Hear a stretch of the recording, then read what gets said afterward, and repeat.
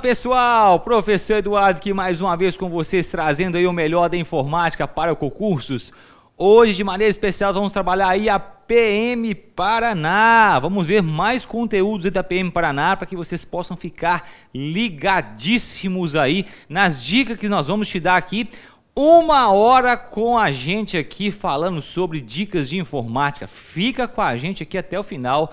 Tem muita coisa bacana para poder falar para vocês aí, para que vocês possam anotar e é lógico, quando chegar na prova, acertar aí as questões, ok? Muito boa tarde para o Francisco, que já está aqui. Boa tarde, guerreiros. É tudo nosso nada deles. Isso aí, show de bola, Francisco. Depois você coloca aqui de onde que você é, qual que é a sua cidade, o seu estado aí, Francisco, a gente poder mandar um abraço aí para você. Um abraço também ao Edne, Ednai. Ednai? Ah, não, espera aí. Edinai, não é Edinai, não. Edinai, ok. Edinai Patrícia, muito boa tarde para vocês também que está ao vivo com a gente aqui. Victor do Borel, Victor Borel, ah, show de bola. O professor aqui de português aqui, o Robinson, fala muito do Victor do Borel. Então você está aqui hoje com a gente. Que grande prazer ter você aí, o Victor Borel. Boa tarde, serve para PMES. Serve sim, porque a PMS também tem a parte, muitas das, dos conteúdos que nós vamos ver aqui também está lá também, viu, Victor? É Vicky, né? Victor não, é Vicky Borel, até, né? Ah, show de bola. O Francisco está falando que lá de Água Branca, Lagoas. Show de bola. O Matheus Brandão, mais uma vez com a gente também aí. Muito bom. Boa tarde para você, Matheus. Show de bola. Esqueci de onde que você é, Matheus. Lembro do seu nome aqui com a gente, mas não sei mais da onde que você é. Depois coloca aí também. Henrique aí, San. Henrique San. Olha, rapaz, o nome do camarada, Henrique San. Diferenciado, hein? Diferenciado. Muito boa tarde também. Vic Borel. E a. É, é vitória, e vitória, isso aí é show de bola. Então, ó, vai colocando aqui os seus comentários, vai deixando aí no chat aí pra gente aí os seus comentários, mete o dedo no chat aí, coloca aquilo que vocês querem ouvir, falar, dizer, né? E é lógico, participe com a gente aqui durante todo o nosso período aqui ao vivo com vocês, para que vocês possam perguntar e a gente possa responder e vocês possam ver muito conteúdo de qualidade aqui agora, ok? Matheus Brandão, Salvador, Bahia. Claro, o pessoal da Bahia, como sempre, aí com a, com a gente, né, Matheus? Show de bola, viu? Um dia ainda eu vou conhecer Salvador. E é um dos objetivos que eu tenho, é conhecer, conhecer Salvador ainda. Já fui em muitos lugares da Bahia, mas Salvador ainda não.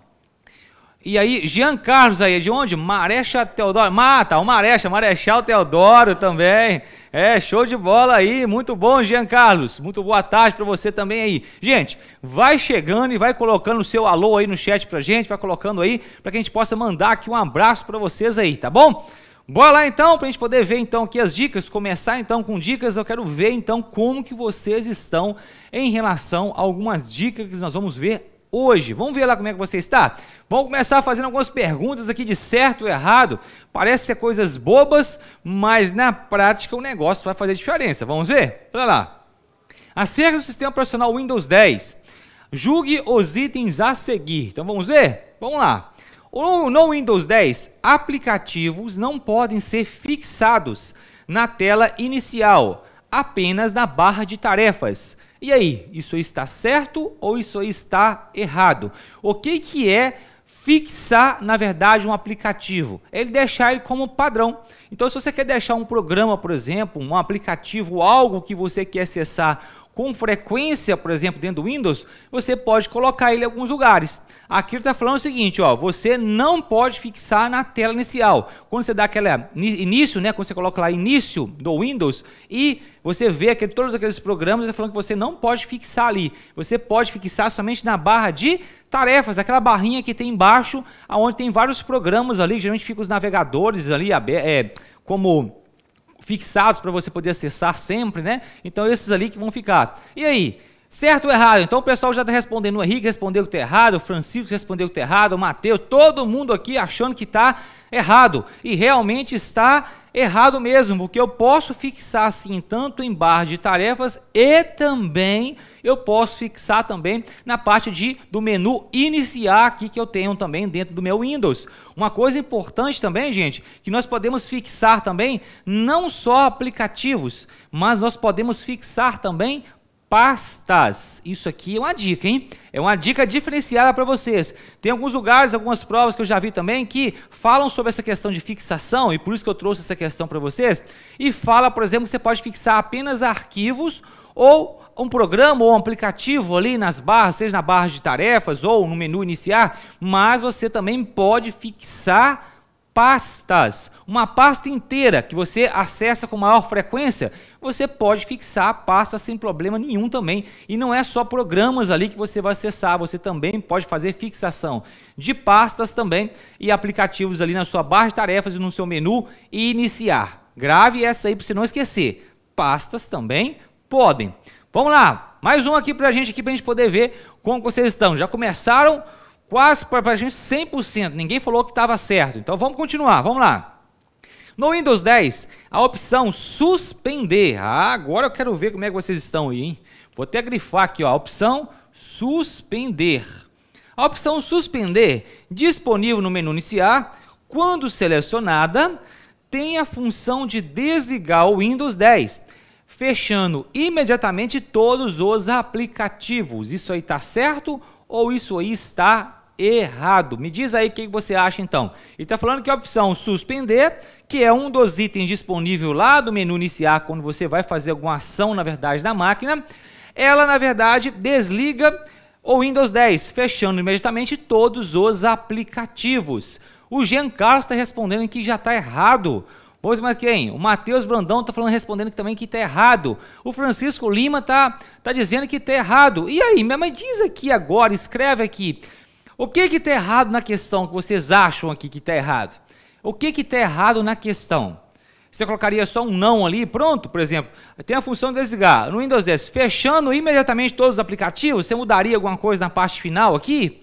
O que, que vocês mudariam então? O que está errado na questão aqui? Me diz aí, me coloca aqui no chat o que, que vocês acham que está errado, só para eu poder saber se você está sabendo mesmo, ou se tá, você está indo pelo intuito, na verdade, de falar o certo ou falar o errado. Né? Será que você está conhecendo, na verdade, por que, que você está falando que está errado? Vamos ver. Quem pode me dizer aqui, colocar por que, que a questão está errada? Professor, está errado por esse motivo. Ah, agora eu quero saber.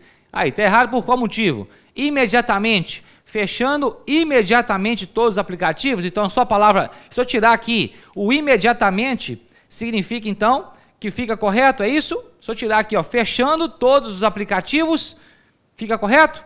A função suspender deixa o computador em modo de hibernação. Aí quem colocou foi o Matheus. O outro falou que é Ávila, é Ávila ou Ávila Borges? Ávila Borges falou que é imediatamente. O Matheus está colocando para mim ali que é a função suspender deixa o computador em modo de hibernação. Olha, olha, olha, nós temos que ver isso direito, né? Por quê? Presta atenção num detalhe importante, gente. Suspender uma coisa e hibernar é outra. Olha para você ver. É por isso que eu estou querendo saber por que, que vocês estão colocando que errado. Para que eu possa saber qual que é o nível de conhecimento que vocês estão tendo em relação a essa função suspender aqui. Ó. Né? Porque às vezes a questão coloca imediatamente, mas será que é o imediatamente? Fechando imediatamente todos os aplicativos? É isso que teoricamente acontece? Ou seja, é, o imediatamente ou fechar. Alguém acha que não fecha os aplicativos? O que, que acontece? O que acontece? Nós temos várias divergências aqui acontecendo e coisas que vocês estão colocando que são importantes. E eu falar aqui agora para vocês, para vocês poderem entender, gente. Porque tem algumas coisas nas questões de concurso que traz para a gente, nós precisamos ter entendimento em alguns pontos. E o primeiro ponto que você precisa entender, o que, que é a função suspender? Para você poder saber se a resposta está certa ou está errada, podia ser no seu intuito aí que você viu, e às vezes viu a palavra imediatamente, fechando e tal. Aí você falou e marcou, por exemplo, lá como errado. Mas nós precisamos entender por que a questão está errada. Errado, é, errado porque não fecha. Ó, oh, olha lá, a Ávila está falando, é errado porque não fecha. Aí já temos outro conceito. Um está falando que é por causa do imediatamente, depois porque fechando, né? Então aí está falando que agora não fecha. A Josilene também está falando aqui que não fecha. Olha, começou a melhorar o negócio. Começou a clarear o negócio aqui agora. Show de bola. A Diana está falando que não fecha também. Show de bola, o negócio está começando a ficar melhor aqui agora. Estou gostando de ver, as mulheres estão aqui em peso aqui agora de uma vez, parece que colocar no complô. Olha lá, todo mundo, habla de novo, né lá? Palavra errada aí é fechando imediatamente. Show de bola. Então vamos ver aqui o conceito então, de suspender. Gente, a palavra suspender, quando você tem essa função lá dentro do Windows, você precisa entender que você não está fechando nada. Muito bem, mulheres. Aí é o pessoal que falou. Você não fecha nada. Você não está fechando nenhum tipo de aplicativo, você não está fechando, por exemplo, o browser, você não está fechando o programa que você está usando, você não está fechando. Você simplesmente está desativando alguns recursos da máquina para poder gerar economia de energia. O que, como assim, professor? É, não entendi direito. Eu vou te explicar aqui agora, então. O suspender, por exemplo, ele desliga, esmaece, por exemplo, a sua tela do seu computador, não vai? Quando você olha assim, dependendo do, dependendo do, do tempo que você coloca lá, clica lá em suspender, a sua tela vai ficar preta. Você, por que, que fica preta, professor? Porque ele está esmaecendo, ele esmaecendo sua tela para poder fazer economia de energia do sua tela. Não gastar, gerar gasto de energia através da tela. Outra coisa que ele faz, ele vai lá na sua placa, por exemplo, lá, lá no seu processador e fala assim: olha, meu amigo, descansa um pouquinho agora, que está todo mundo parado, fica de boa e agora. Ele vai fazer o quê? Desligar alguns itens da sua máquina, como um processador, a memória, por exemplo, ele não vai desligar a memória, mas vai desativar ali enquanto estiver parado. Vai, por exemplo, a placa, a comunicação que está acontecendo com a rede, a internet, tá, tá, tá, aquele monte de coisa acontecendo, ele vai suspender. Opa, bloqueio aqui. Agora não é hora de fazer comunicação. Vou fechar minha comunicação que agora vou tirar um cochilinho. Então é como se você falasse assim: olha, a comunicação com a internet agora está fechada. Então lá na sua placa de rede que você tem, ele vai lá e deixa a sua placa, por exemplo, dormindo. Então ele vai pegando alguns, alguns pontos da máquina e vai suspendendo a atividade delas. E ele fazendo isso, o que, que acontece? Ele suspendeu a atividade, só que tudo que estava aberto quando você mandou suspender está lá. Ele não fechou nada. E ele nunca vai fechar quando você mandar suspender ele vai simplesmente desativar alguns itens da máquina para poder gerar então economia. E tem provas aí, gente, que você que você faz, né? E vem assim falando assim, qual que é a opção?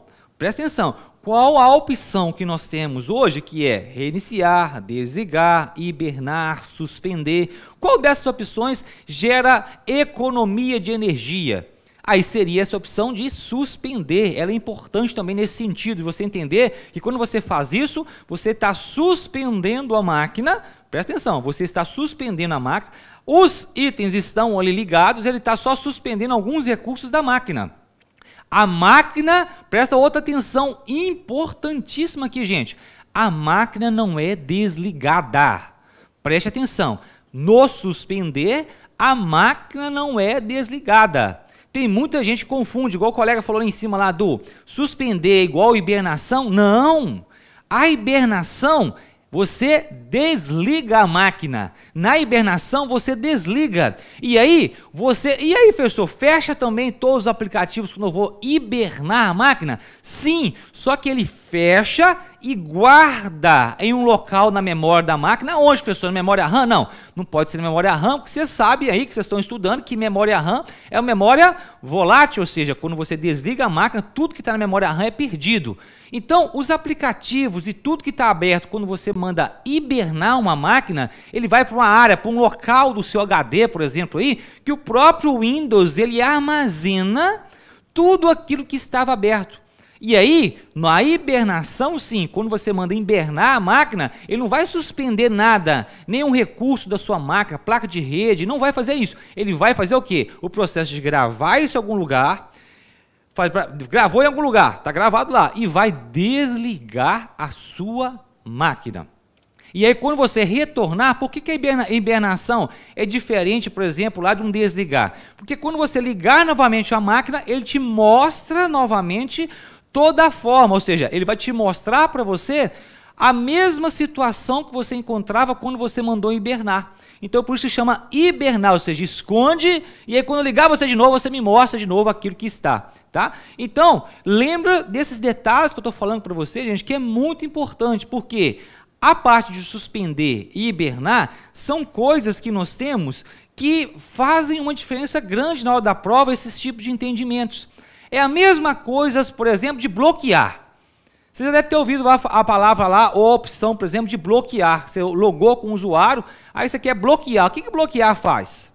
O bloquear ele não suspende, são características diferentes.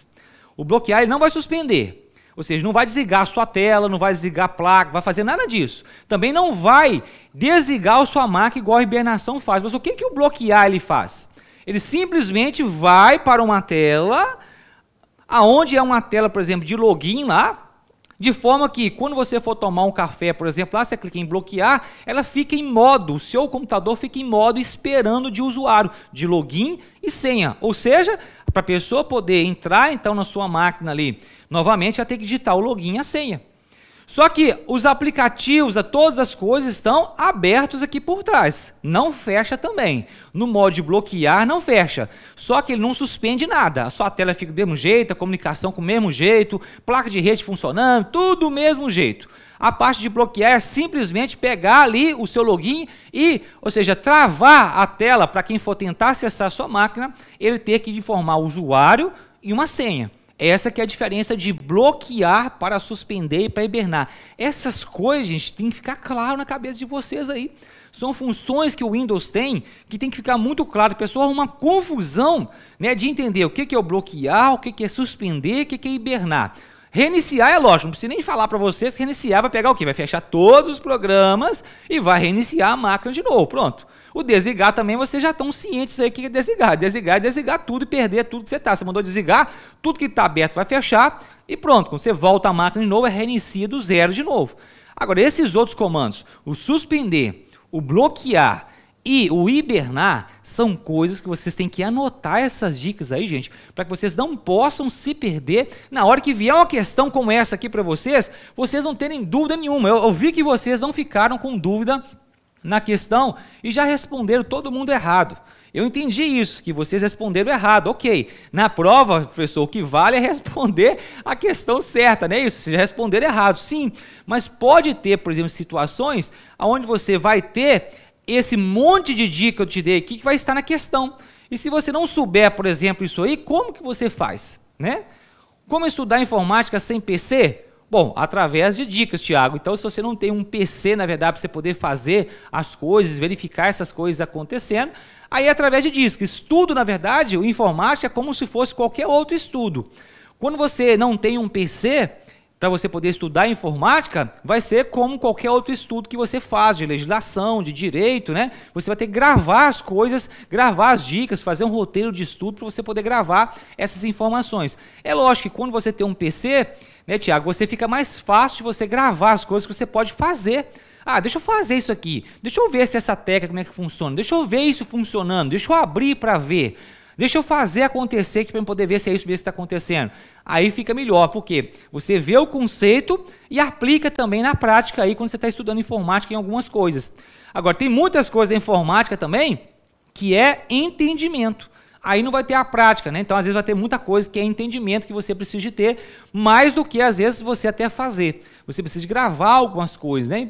Então, é essa a diferença aí básica, né? Estudar aí básico informática, você pegar essas dicas, pegar por áreas, por regiões aí, por categorias da área de informática, separar isso aqui direitinho, montar um esquema, na verdade, de dicas aí. Pegou a parte de Windows, ah, meu, negócio caiu o Windows 10. Então pega coisas de Windows 10 que são importantes. Por exemplo, isso aqui a gente vende o Windows. Seu 10, seu 7, isso aí, é, isso aí não, não faz diferença, né? Nesse caso aqui, não.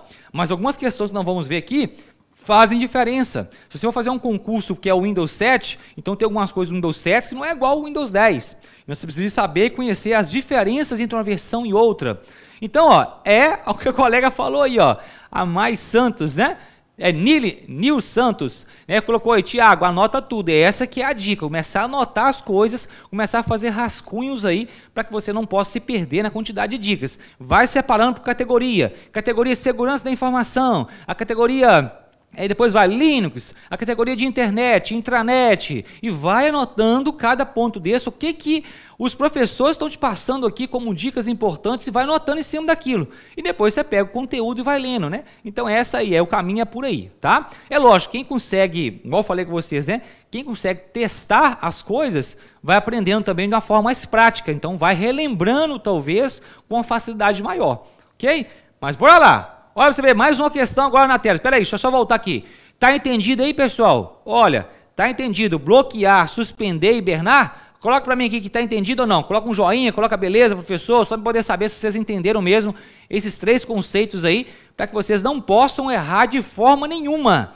Qualquer questão que vir para você em relação a isso, vocês vão acertar, eu tenho certeza. A partir de hoje, você nunca mais, se está com dúvida alguma coisa, não vai ter. É essa que é o nosso objetivo aqui da Monster, ok?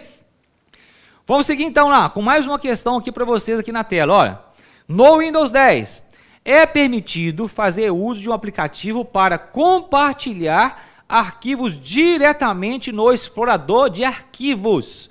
Isso está certo ou isso aí está errado? No Windows 10 é permitido fazer uso de um aplicativo para compartilhar arquivos diretamente do explorador de arquivos. Sim ou não? Certo aí ou errado? O que, que vocês me dizem então para essa questão? Tá certo ou está errado? Lembrando, gente, quando ele fala explorador de arquivos, olha, isso aqui é a mesma coisa do Windows Explorer. Você talvez está acostumado com o Windows Explorer também, não sei qual é a versão do Windows que você está acostumado. Então, o Windows Explorer na versão 7, né? Era o Windows Explorer. A partir da versão 8.1 e a 10, agora que nós estamos do Windows, ele passou a ser chamado de explorador de arquivos. E aí ele está falando o seguinte, olha, é permitido fazer uso de um aplicativo para compartilhar arquivos diretamente no explorador de arquivos. Lá dentro do explorador de arquivos, lá dentro mesmo você pode compartilhar ou fazer compartilhamento de arquivos diretamente dentro do explorador de arquivos. Isso pode ou não? E aí, o que, que vocês me dizem sobre isso? Podem ou não? Certo ou errado? Essa questão está certa ou esta questão está errada? É por isso que os conceitos né, que a gente vai vendo aqui, vai anotando, né, vocês vão anotando e vão lembrando, às vezes, de uma dica que tem a ver com outra, para que você possa chegar na questão. Né? Se você entender, por exemplo, que dentro do Windows Explorer, na verdade a gente começa a entender lá atrás, que dentro, por exemplo, do Windows 10, quando você instala o Windows 10, nós instalamos junto também o quê? O que nós instalamos junto com, com dentro, do Windows 10, do, dentro do Windows 10 que serve para poder fazer armazenamento de arquivos na nuvem? O OneDrive. OneDrive é um dispositivo de armazenamento na nuvem que nós temos que é instalado junto com o Windows 10. Por que eu estou falando isso aqui? O que tem a ver com essa questão, pessoal? Por quê? Porque lá dentro do explorador de arquivos, você consegue então, você consegue então fazer o quê? Compartilhamento de arquivos que estão no seu OneDrive, através do OneDrive. Então eu posso pegar lá dentro do explorador de arquivos, vai criar como se fosse uma unidade de disco para vocês lá, chamada assim, ó, OneDrive. E aqui dentro do, do OneDrive, lá você tem, por exemplo, vários arquivos aqui. Ó. Você pode ter vários tipos de arquivos, por exemplo, seu OneDrive. Qualquer um desses arquivos aqui que você clicar com o botão direito do mouse ali em cima dele, você vai ver e, e clicar o botão direito em cima do mouse aí, e clicar na opção compartilhar, lá dentro do explorador de arquivos, você vai ver que ele vai te dar a opção de você fazer aquele compartilhamento daquele arquivo acontecer. Num OneDrive, às vezes de outra pessoa, ou né, colocar isso para OneDrive, seja um arquivo que está no Windows, não está dentro do seu OneDrive. Você quer colocar dentro do seu OneDrive, você clica o botão direito em cima dele, ele vai fazer assim, você quer colocar isso aqui aonde? Quer compartilhar onde? No seu OneDrive ou também no seu e-mail e-mail. Ele também consegue compartilhar as coisas por e-mail. Então lembre disso. Né, você consegue fazer compartilhamento de arquivos acontecer através do explorador de arquivos do Windows Explorer, através de, do OneDrive, que é o dispositivo de armazenamento que já vem instalado no Windows 10, né, que é aquele dispositivo da nuvem, então você pode colocar os arquivos aqui dentro do seu OneDrive né, e acessar esses arquivos até, através do explorador de arquivos. Qualquer tipo de arquivo que você está dentro do seu Windows normal, clicou com o botão direito nele lá, dentro do explorador de arquivos. Clicou em compartilhar, vai aparecer duas opções para vocês lá básicas, que é você compartilhar aquilo por e-mail ou compartilhar aquilo através do OneDrive. Então isso aí é importante vocês saberem e entenderem que nós temos essas opções aí para poder fazer compartilhamento de arquivos aqui acontecerem na prática. Não esqueçam desses detalhes, muito importante, gente, tá? Uma coisa vai puxando a outra. Ó, perguntou sobre compartilhamento, mas para você poder entender e ter certeza disso aqui, responder a questão com certeza, não é chutando não, responder com certeza. Eu tenho conhecimento disso, professor. Então você precisaria ter o conhecimento que eu falei com vocês aqui do OneDrive. É um dos itens que você precisaria ter o conhecimento para você poder ter a certeza que realmente eu consigo fazer compartilhamento diretamente do explorador de arquivos. E também o conhecimento da parte do e-mail.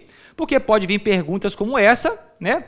De uma forma diferente, mas se você tem um conhecimento, pode vir de qualquer jeito que você vai acertar. Né? É isso que é a intenção nossa, pessoal. É olhar uma questão com vocês, não é só olhar o conteúdo da questão, é, é olhar com vocês a visão geral que a questão pode te dar e ampliar sua visão para que, se por acaso aparecer outra questão dessa, de cabeça para baixo, da esquerda para a direita, de tudo quanto é jeito, você vai conseguir acertar. Porque o conteúdo e as dicas foram dados. Vamos lá para mais uma questão, então. Chega de ficar falando balela. Vamos lá, mais uma. Olha, mais uma aqui do Windows 10. Peguei vários itens aqui que são importantes para vocês poderem saber sobre o Windows 10 e estou trazendo aqui para vocês. Olha, por meio do recurso Visão de Tarefas, ok? Esse íconezinho aqui que nós temos lá do Windows 10, é possível criar áreas de trabalhos diferentes. Área de trabalhos é que chamamos, chamamos também de desktop aí, né, que vocês estão acostumados. É o local lá, quando você liga o computador, aquela área principal que nós temos, se chama área de trabalho ou desktop da máquina. E aqui ele está falando o seguinte, que lá dentro do Windows 10, nós temos lá né, um recurso chamado visão de tarefas, que esse recurso ele me permite criar várias áreas de trabalhos diferentes. Então eu não fico só em uma área de trabalho, eu fico em várias áreas de trabalho, ok? Por isso é melhor errar aqui do que na prova. Show de bola aí. É, Nil, né? É Nil, Nil, é Nil Santos. Isso mesmo. O negócio é errar aqui agora com a gente e não errar na hora da prova, com certeza, não é isso? Por isso que nós estamos aqui, para poder te dar dicas aí importantes para quando você chegar na prova vocês acertarem. Então o Matheus Brandrão está falando que essa questão está certa. Né? E aí, quem mais pode falar? O Vic Borel também falou que está certo. Quem mais pode falar que está certo ou errado? Mais um aqui só para a gente poder ver a resposta. Bora? Bora para mais um aqui falando que está certo ou está errado para a gente poder ver a resposta então. Visão de tarefas. Presta atenção no nome, hein? Visão de tarefas. Olha o ícone aqui, para você poder prestar atenção também. Porque numa prova, pode trazer para você somente o nome do recurso ou somente o ícone. Então eu trouxe os dois aqui para você poder entender nome do recurso e ícone, para você poder associar na sua cabeça também. Porque se por acaso pergunta assim, o que, que esse ícone aqui significa no Windows 10, e você sabe só o nome, você vai errar. Né? Então, quando eu pego o ícone pego o recurso e falo para você, visão de tarefa, né? é visão de tarefa e é esse ícone que nós temos. Ok? Vamos lá, então, mais um certo. Então, resposta aqui está certa. Show de bola, vocês acertaram aí. É. Né? O Matheus Brandão, o Vic, o Neto também colocou certa, o Henrique colocou errado. Pode ser que né, tenha dificuldade, eu não tinha visualizado, talvez, né, Henrique, esse conceito antes. Mas dentro do Windows 10 eu posso sim ter várias áreas de trabalho. Isso aqui é um dos recursos fantásticos que eu acho e considero do Windows 10. Por quê? Até então, a gente tinha nas versões anteriores do Windows, do Windows apenas uma única área de trabalho, onde você colocava todos os seus aplicativos, navegadores, browsers, tudo ali aberto em uma única área de trabalho. Se você está no seu serviço, você está misturando coisa de trabalho com coisa pessoal, com coisa que está resolvendo de faculdade, por exemplo, tudo aberto no mesmo lugar, que é a confusão de coisa. E agora não. Agora você pode deixar, por exemplo, você pode é, criar uma área de trabalho, por exemplo, que é pessoal. Então, tudo que você está abrindo pessoalmente, às vezes o seu e-mail, alguma coisa pessoal, que está resolvendo coisa pessoal sua, cria uma outra área de trabalho e faça isso tudo lá dentro. E aí você quer, por exemplo, trabalhar agora a parte né, profissional sul, tá dentro da empresa, você pode criar mais um área de trabalho e toda vez que você for abrir alguma coisa que é relacionada à parte profissional, empresa, você sempre abre dentro dessa área de trabalho. As outras podem ficar lá, gente, elas vão ficar lá. Se você não fechar, por exemplo, as abas, não fechar coisas, aquela área de trabalho é como se ficasse salva para você dentro da sua máquina. Então você vai conseguir acessar então aquelas áreas de trabalho também. Então você pode criar o quê? Vários ambientes que ele fala aqui, né? Várias áreas de trabalhos diferentes. E com isso fica muito mais fácil você poder então fazer as coisas e separar as coisas aí, né?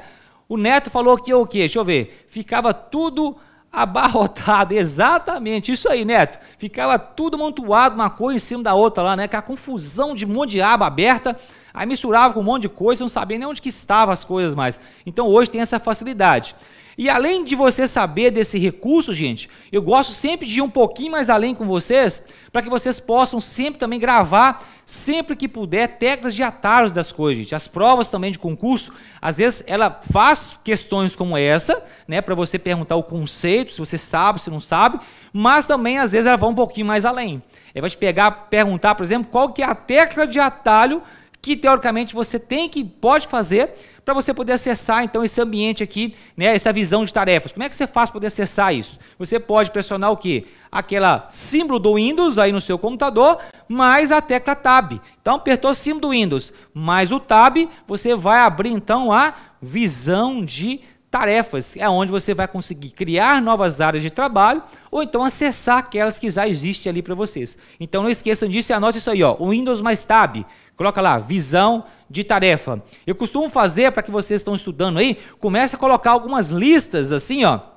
Listas aonde você vai colocando os principais, por exemplo, comandos, teclas de atalho de várias coisas, porque isso aí faz uma diferença gigantesca depois, gente, para que vocês possam entender, ok?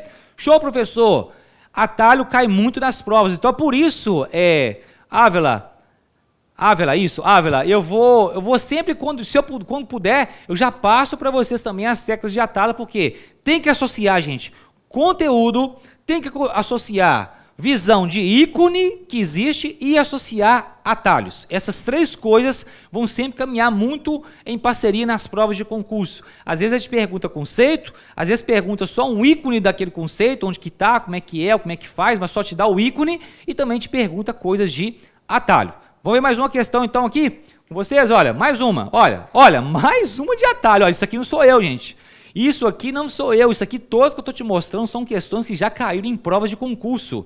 Não é o professor Eduardo criando essas questões aqui para vocês, não.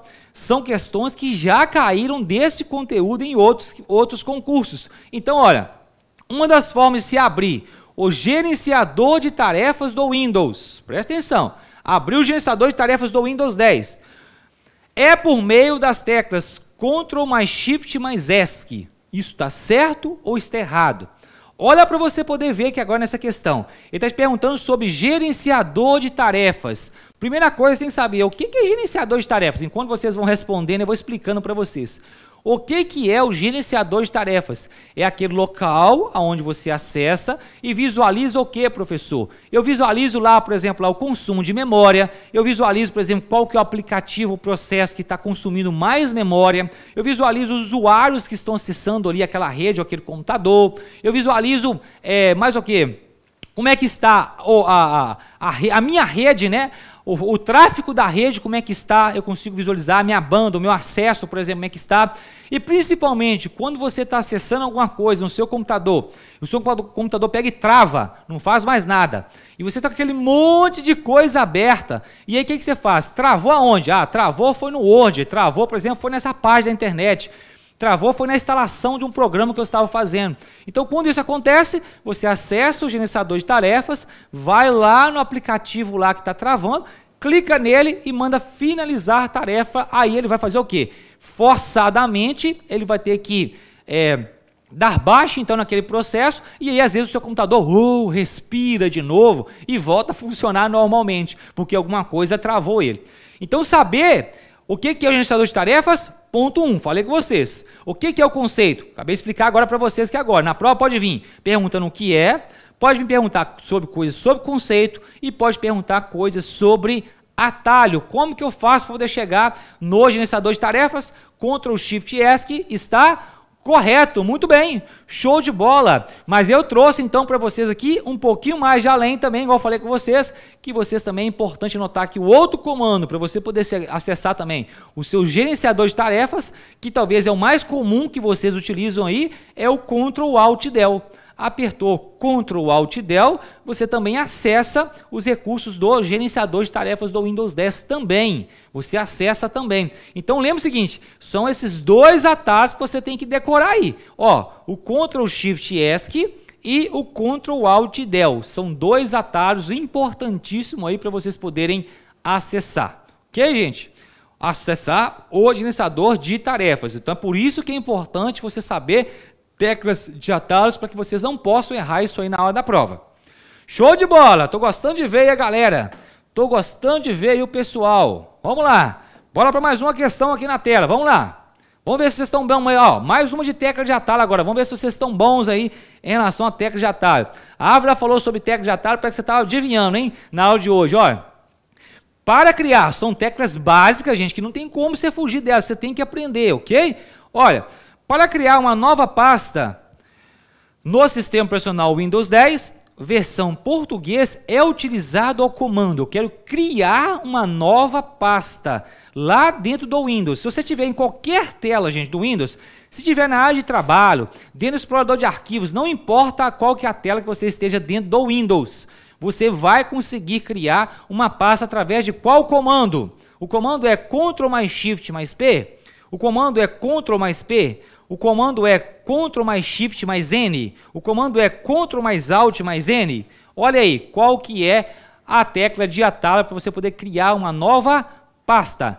Criar uma nova pasta. Qual que é a sua tecla de atalho? Letra A, letra B, letra C, letra D. Vamos ver quem vai acertar essa aí. O Neto falou que é letra A. O Matheus Brandão está falando que é letra C. Olha, não vale ficar testando as teclas aí no computador no ao vivo, hein?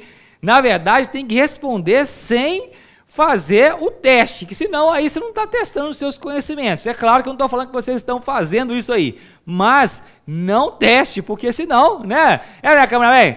Testar lá, vai ver a resposta certa. Vai que desliga o computador aí, não sabe. Aí, olha pra você ver. Já imaginou na hora da prova? Como é que vai testar no computador? Não vai ter Exatamente. jeito? Vai complicar, vai famoso engraxar o bigode na hora da prova. Então, vamos ver como é que vocês estão em termos de conhecimento. Então, já falou o Neto, falou letra A, o Matheus, letra C, a Renata falou agora letra C também.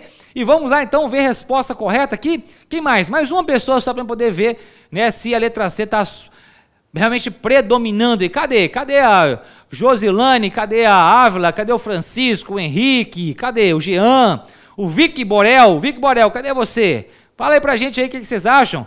Aí o Anderson, cadê o Anderson também? Fala pra gente aí qual que é a sua resposta para essa questão. Letra A, B, C ou D? Fala aí, cameraman, qual que é a resposta correta? Ih, rapaz, o cameraman tá pensativo ali, hein? Hein? Qual que é para poder criar uma nova pasta lá no Windows?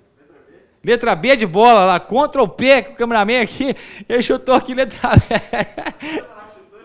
Aí, já chutou letra B aqui já, gente. Vamos falar. Vamos falar a resposta correta então? Ô, gente, eu trouxe essa questão para você poder ver o nível, às vezes, de confusão que pode gerar para vocês aí. É, Exatamente, ô Matheus, isso aí. Dá um Alt F4 aí, por enquanto aí, acaba complicando tudo aí, né? Exatamente, Henrique falou letra C.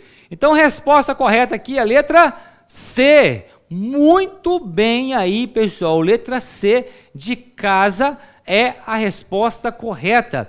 E olha aí, quem não sabe, quem estava com dúvida, anota uma coisinha aqui básica que o professor vai te dar aqui agora, que às vezes confunde mais na hora da internet. Olha como é que é a questão de atalho. Ô, cameraman, comigo.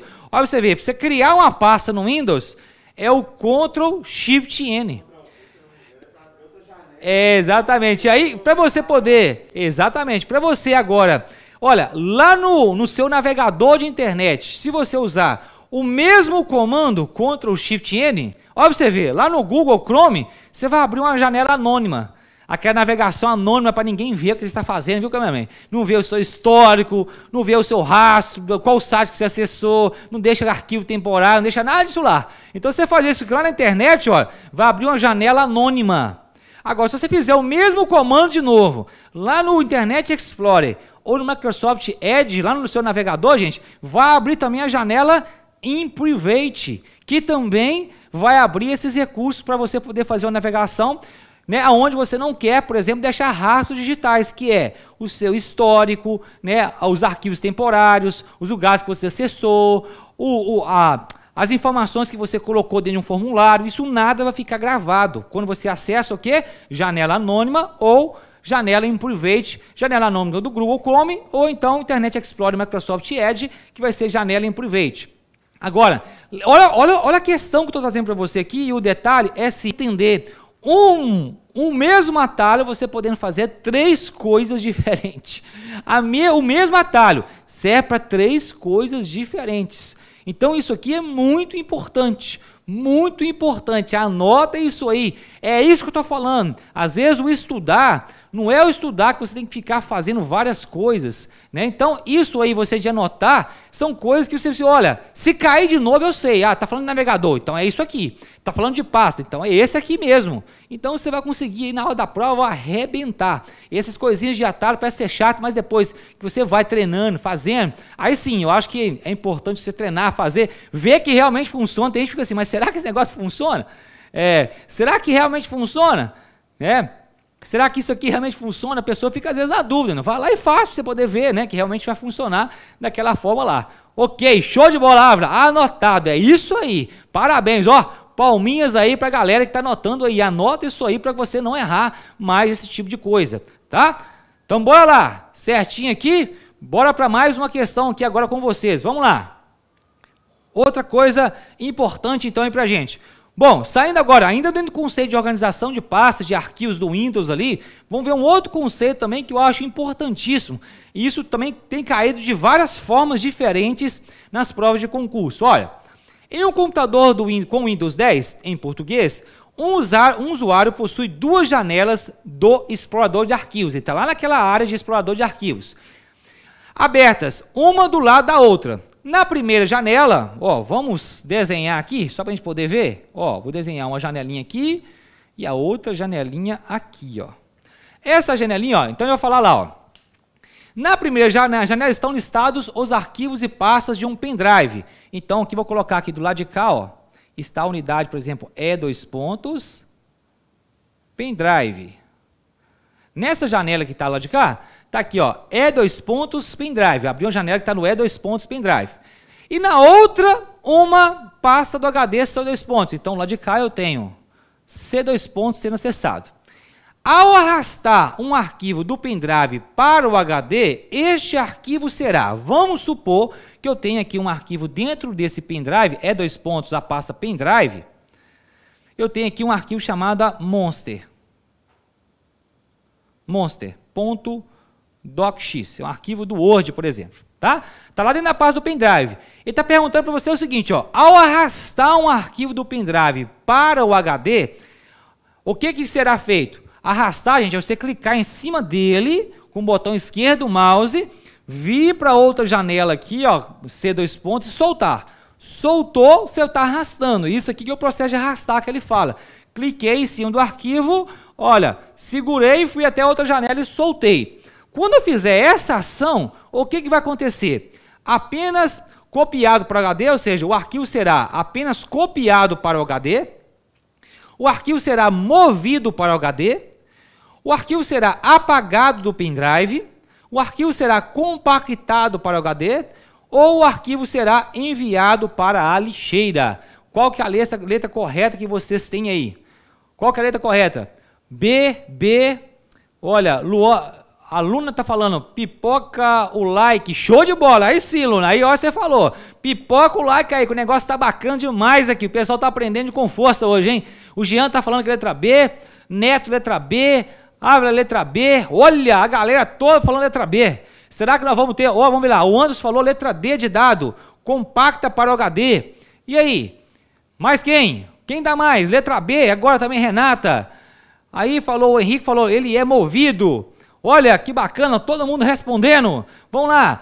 O Tiago falou letra A, a Paula Xavier falou letra B. Quem dá mais? Para a gente poder fechar aqui agora. Fechando então e passando a régua. Gente, se fosse a questão de concurso, a galera ia fazer o quê? Acertar ou errar? Ó, a Nili Santos está falando que letra A. Opa, começamos a aparecer uma, duas letras A e um monte de letra B e uma D.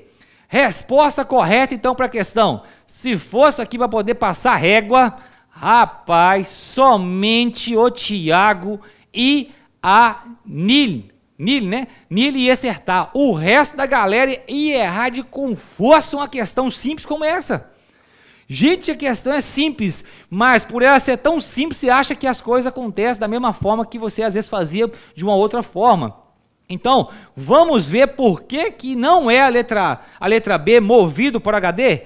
Gente, para nunca mais você errar, nunca mais, não será movido. Resposta: não será movido, não é a letra B.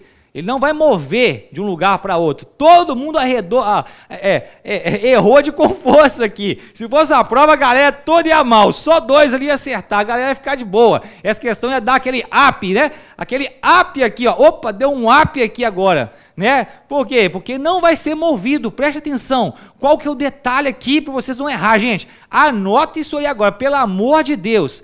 Preste atenção, gente. Preste atenção. Vamos lá. Aqui eu tenho aqui, ó, primeira coisa que você precisa saber. Quando eu estou fazendo o processo de clicar e arrastar, tem duas coisas que são importantes você poder entender. A primeira delas, eu estou fazendo isso dentro de uma mesma unidade ou eu estou fazendo isso em unidades diferentes. Vocês vão fazer aí. Quem está falando que já fez e moveu, vai fazer de novo comigo e vai ver que não vai fazer isso. Vai fazer. Vamos lá. Preste atenção. Se você Preste atenção aqui, um detalhe, viu, Henrique? Ó, nós estamos em unidades diferentes. Eu não estou movendo um arquivo do C2 pontos Eduardo para um, um, outro arquivo que está dentro do C2 pontos também, não. Não. O detalhe do negócio aqui é a unidade. Preste atenção. Quando eu faço isso em unidades diferentes, unidades diferentes, ele copia e não move. Ele vai copiar o arquivo. Quando eu estou em na mesma unidade, se não fosse o pendrive que tivesse lá de cá, ó, fosse aqui, ó, C2 pontos, dentro da pasta monster. Olha, eu estou lá dentro de C2 pontos monster e quero arrastar esse arquivo aqui para dentro de C2 pontos. Aí sim, se você fizer isso aí, você vai fazer o quê?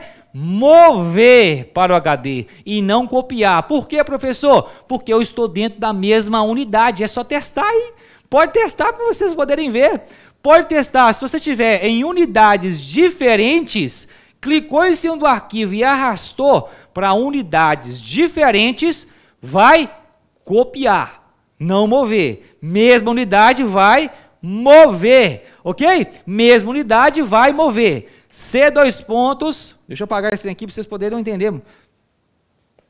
Mesma unidade, move. Unidades diferentes, copia. Anota isso aí agora, para você nunca mais esquecer. Anota agora, para vocês nunca mais esquecerem isso. Se eu quero, se eu quero arrastar então um arquivo que está de uma unidade para outra unidade, ele vai fazer o quê? Copiar. Se eu quero arrastar um arquivo de uma unidade para uma outra mesma unidade, unidade eu falo, gente, é C2 pontos, D2 pontos, E2 pontos. Né? Quando você coloca o seu pendrive lá, ele cria-se então uma nova unidade para você lá no seu explorador de arquivos. Por exemplo, E2 pontos, F2 pontos, ok? Show de bola. Anota isso aí, gente. Olha, isso aqui eu já vi caindo várias vezes em questão de concurso. Coisa simples. Coisa simples. Né? Coisa simples, mas na prática faz a diferença se você não souber o conceito. É por isso que aqui é dica, aqui não é aula, aqui eu estou dando dica para você. Olha a quantidade de dica que, você, que eu estou te dando aqui nessa aula para você aí. Mais uma para você poder anotar aí na aula. Show de bola, vai anotando isso aí, Neto, vai anotando tudo para vocês poderem não errar mais isso aí. Show de bola? Eu creio que já anotaram bastante coisa na aula de hoje, ok? Vamos lá para mais uma questão então? Deixa eu apagar isso aqui agora que eu vi que isso aqui eu falei assim: ah, não, essa aqui a galera vai acertar em peso.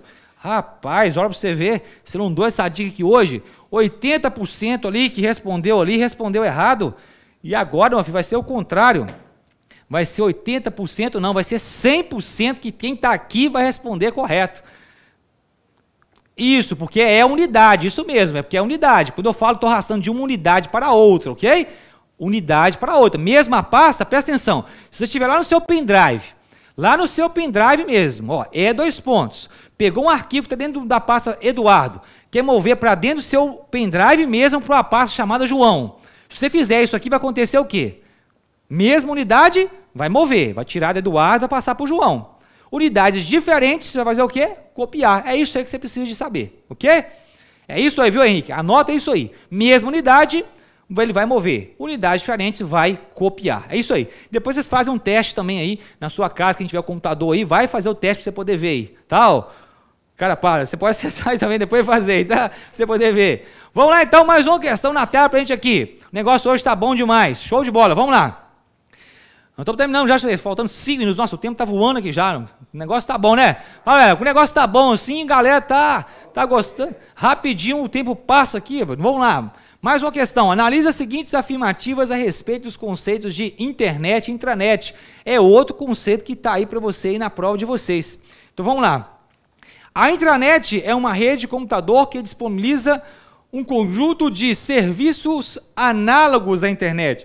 Então vamos lá. Eu não vou ler tudo para depois dar resposta, não. Eu vou ler questão por questão para você, para vocês poderem ter a oportunidade de anotar as coisas aí, tá? Então vamos lá. Quando você vai fazer qualquer questão aqui, gente, sobre intranet e internet, tem alguns pontos que você precisa de entender para você nunca errar isso aqui na hora da prova. Quando ele fala, Breno Ita aqui, é uma rede de computadores, ok, que disponibiliza um conjunto de serviços análogos à internet. O que, que são serviços análogos? O que, que é serviços análogos à internet, gente? Serviços análogos à internet é a mesma forma, por exemplo, que algo funciona na internet, os serviços que funcionam na internet também funcionam também no intranet. Isso está certo ou está errado? Isso está correto, porque realmente isso aí de fato é, é verdade. Porque os mesmos serviços, que tipo de serviço, gente? Que, que, por exemplo, você acessa na internet, que também tem dentro de uma intranet. Você acessa uma página, por exemplo, na internet, não acessa? Você também pode acessar uma página também na intranet. Né? Você acessa uma página na internet através de qual protocolo? Você acessa uma página na internet através do protocolo, por exemplo, HTTP, HTTPS. Você pode fazer uma transferência de arquivo, que é um serviço também que você pode fazer na internet, que é o FTP, que é a transferência de arquivos que você pode fazer. Isso tudo também você pode fazer o quê? Também pode fazer na também pode fazer na intranet. Então, esses serviços análogos são esses tipos de coisas. Ou também na prova pode vir para vocês as mesmas tecnologias utilizadas na internet também são utilizadas em uma intranet. E isso também está correto, tá? Então, isso aqui está correto. Número um, correto. Vamos ver. Não é possível acesso à intranet por dispositivos móveis dentro da empresa. Jamais, gente. Isso aqui está erradíssimo, né? Porque dentro da empresa eu consigo acessar, sim, dispositivos móveis sem problema nenhum, né? Tanto é que a empresa, tem muitas empresas que têm os próprios aplicativos dela, que você pode bater ponto, por exemplo, dentro acessando, acessando, por exemplo, aqui, fazendo acesso, por exemplo, a dispositivo móvel dentro da empresa. A única coisa que você não vai poder é talvez acessar alguns conteúdos que está travado ali dentro da sua intranet. Aí você não vai conseguir acessar. Item 3 aqui. A intranet é um tipo de rede de computadores que não utiliza o endereçamento IP. Jamais a intranet utiliza como a internet também. Só que a diferença é o seguinte: quando você está na internet, esse endereço IP seu que está aqui está te identificando na rede mundial de computadores. Quando você está dentro de uma intranet, esse endereço IP que você tem na sua máquina, que se você é como se fosse o seu CPF, vai ser o seu CPF na rede. Tá? Então, lá na internet, se a pessoa quiser ver o seu endereço IP, ele não consegue ver o seu endereço IP dentro da sua empresa, porque aquele endereço IP, inclusive, é diferente. Tá? Então, nós temos endereço IP? Também tem endereçamento IP aqui também, aqui na, na, na prática, tá? Então a resposta aqui, a única que está correta é a letra A, de amor aqui, que seria a resposta correta, que eu estou vendo o pessoal respondendo aí. A maioria de vocês respondeu de forma correta. Que bom que neste conteúdo vocês estão cientes estão sabendo, então, esses detalhes aí que são importantes, né? Que dentro do intranet e internet tem serviços análogos, que as coisas que são feitas na internet também podem ser feitas dentro da intranet, só que a diferença básica é que uma é restrita a outra aberta. É isso que você precisa entender de intranet e, e, e internet, ok? Mais uma questão, então, para a gente aqui na tela. Vamos lá, vamos ver agora lá para Linux. Olha, nós estamos saindo já de Windows Vimos aqui uma coisa de intranet, internet, e agora vamos lá para o Linux. Vamos ver como é que vocês estão lá em relação à parte de Linux aí, gente. Vamos lá. Utilizando a linha de comando em um computador com um sistema operacional Linux, se um usuário deseja acessar ou mudar o diretório corrente, ele utiliza o comando. Lembra que eu estou lá no Linux. Lá no Linux, se você quiser, por exemplo, lá então, acessar ou mudar de diretório, eu quero acessar um diretório. Como é que eu acesso um diretório? Qual é o comando que eu consigo fazer para poder acessar um diretório? Diretório, gente, é uma coisa de uma pasta, tá? Diretório ou pasta é a mesma coisa. Então, se você quiser acessar uma pasta ou um diretório, qual que é o comando que você vai dar lá no Linux para você poder acessar um diretório ou uma pasta? Letra A, find. Letra B, mkdir. Letra C, cd. Letra D, rd. E letra E, PWD. Qual que é a resposta aqui para essa questão? Vamos ver agora como é que vocês estão nesse conteúdo aí de Linux aí. Vamos dar uma pontinha do iceberg aqui para vocês de Linux. Nosso tempo já está terminando, se findando, mas nós vamos o que, que é Linux? O Vic Porel está perguntando o que, que é Linux. Linux é o sistema operacional, Vic. Se, é, eu não sei se né, você perguntou lá no começo, lá, não sei se foi você que perguntou sobre PM é, do Espírito Santo, né? Eu não sei agora de cabeça se lá na PM Espírito Santo se tem Linux lá, é o sistema operacional hoje livre, gratuito que nós temos. Nós temos o Windows, que é um sistema pago, né? Que é um sistema proprietário, e nós temos o sistema operacional Linux, que é um outro sistema também aberto, utilizado, e que você não precisa de pagar para poder fazer uso dele. Tá? E aí dentro do Linux nós temos alguns comandos. Tá? É um tipo de sistema operacional. Aí a Josilane está falando, é, sistema operacional tipo Windows, porém é gratuito. Exatamente, Josilane, isso aí. Show de bola. Então, qual seria a letra correta aqui, letra A, B, C, D ou E, para mim poder então acessar ou mudar um diretório, uma pasta? Aí, o Neto respondeu, find, e aí? Qual que é a letra correta? Qual que seria a letra correta? Vai, mais uma aí, vamos lá. Qual seria a letra correta aí? Vamos lá, gente. Nosso tempo está se findando aqui agora para a gente poder ver então o conteúdo. Vamos lá, mais uma pessoa poder responder a questão para a gente. Bora? Mais uma. Vamos lá. Matheus Brandão falou letra C. CD, que seria. É, o Henrique falou. Ah, tá. Open Source, quer dizer outra coisa. Então vamos lá. Resposta correta aqui seria letra C. Muito bem, Matheus Brandão. Show de bola. Letra C seria o comando CD. E só para você poder entender aqui, gente, o comando cd, ele também é utilizado no Windows para você poder acessar também um diretório, uma pasta. Só que é lógico, nem todos os comandos que você utiliza lá no, no Windows vai ser os mesmos comandos utilizados no Linux. Então vocês precisam de saber o que, que são esses comandos. Por exemplo, o find que está aqui, significa que vai procurar em todo o diretório raiz. Se você não for o root ou for aquele usuário principal, o usuário administrador, aquele superusuário, né? Ele ignorará os diretórios com permissão. O mkdir, importantíssimo você saber o que é o mkdir. mkdir significa o quê? Cria um diretório e não acessa um diretório. Ele vai criar uma nova pasta. Toda vez que você quiser criar uma nova pasta, você vai usar o comando mkdir do Linux. O comando cd abre ou muda o diretório, que essa que é a nossa resposta correta aqui para essa questão, né? O comando rd, olha que interessante, rd remove um diretório no Windows e não é a função aqui dentro do Linux. Vou explicar para vocês também qual que é o comando é, de remover dentro do Linux, qual que seria. Então, rd ele tem a ver com o, o Windows e não com o Linux, ok? E o comando pwd mostra o diretório atual, aquele diretório que você está é o comando pwd. Nós vamos ver ainda muito mais questões, pessoal, de Linux, mais conteúdos aí da PM Paraná. Eu acho que nosso tempo já esgotou, já são 3 e 2, né? Já tem mais professores chegando aqui agora, 15 horas. Tem nossa programação que começa desde manhã, vai até a noite, não é isso? O professor Rodolfo está chegando então. Então, pessoal, bom, espero que vocês tenham gostado, espero que vocês tenham é, é, aprendido um pouquinho mais essa uma hora nós tivemos presentes aqui no ao vivo. Espero poder ter passado para vocês aí dicas importantes. Percebi que muitos de vocês né, não sabiam algumas coisas e agora estão sabendo. Espero ter anotado aí para vocês poderem não errar isso mais. E aí, gente, é lógico, se você gostou, está gostando do nosso conteúdo aqui, mete o dedão aí no like, mete o dedão aí no nosso, nosso canal do YouTube, coloca lá um gostei, coloca lá, ativa lá o sininho lá para você poder receber a notificação que sempre que tiver vídeos aí para poder acontecer, você vai estar tá recebendo. Segue a gente no canal do YouTube, acesse o nosso conteúdo no nosso site. Tem promoções aí para vocês aí na tela, 82 e 52 pacotes aí para vocês poderem pegar e utilizar muitas questões, simulados, conteúdos, explicações mais detalhadas de cada conteúdo.